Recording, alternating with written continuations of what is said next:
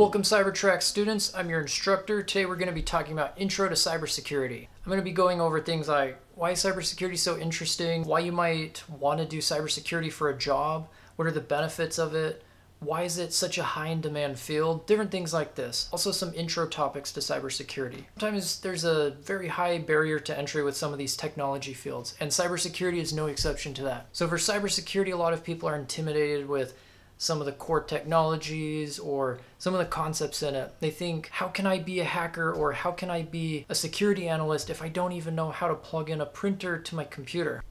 So the goal with this channel is to really help everyone start from a foundation. I want to start from zero and then get you to where you need to be so you can get that next cybersecurity job. You know, get your foot in the door.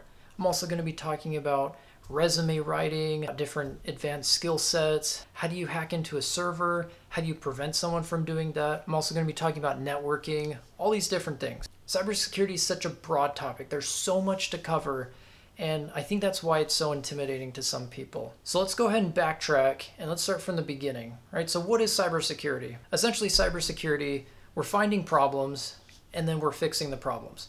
Let's say we have a network of 100 different computers at a company and this company they sell bread right? And they have a website up. They have 100 employees there.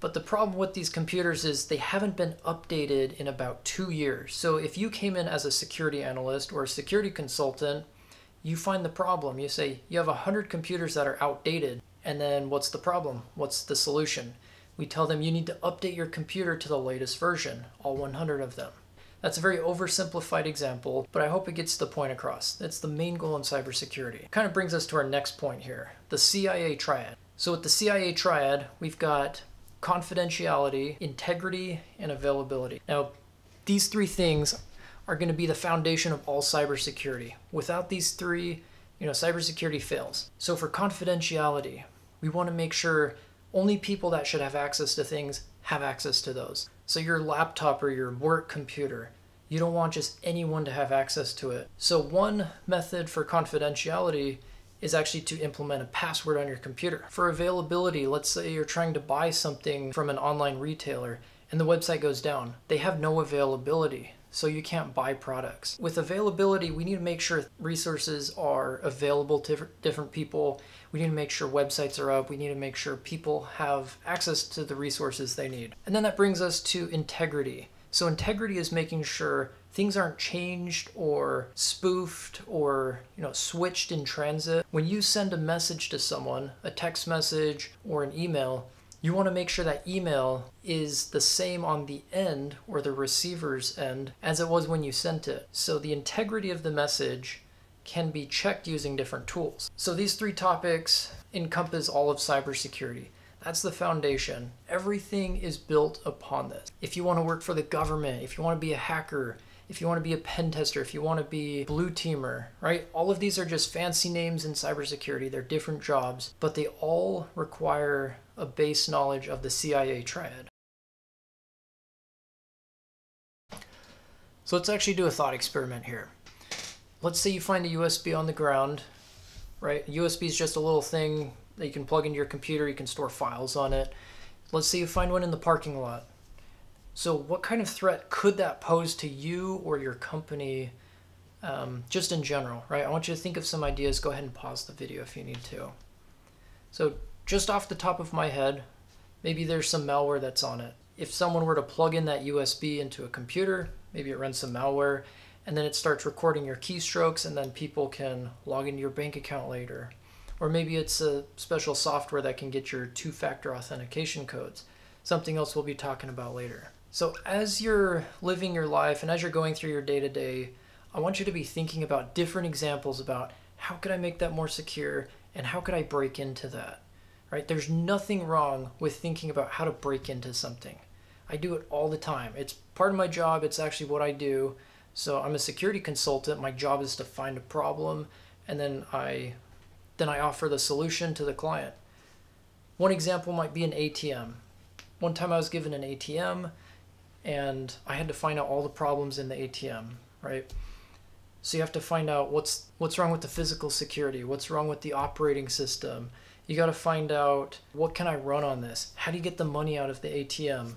Is there a way to break into the safe or do I need to do it through the computer? So a lot of research is done. Another thought experiment I want you to do, right? So let's say we're trying to break into a network. There's a website and there's a few employees at the company and they have a database and a server. So we could try to target the users, right? This is called social engineering. This is taking advantage of human weakness. So this is going up to the receptionist and saying, hey, I'm an engineer or I need to work in your network closet. I just got a call today. They said it's urgent. The receptionist hasn't heard about this, but it sounds urgent. The receptionist lets you in, and then you start plugging stuff into the network, and then you've compromised their network. Other types of social engineering attacks are phishing emails. I'm sure you've all gotten some sort of email saying a Nigerian prince is trying to, you know, help you out, wants to give you a million dollars. That's a form of social engineering. It's trying to trick you into thinking a certain situation is real.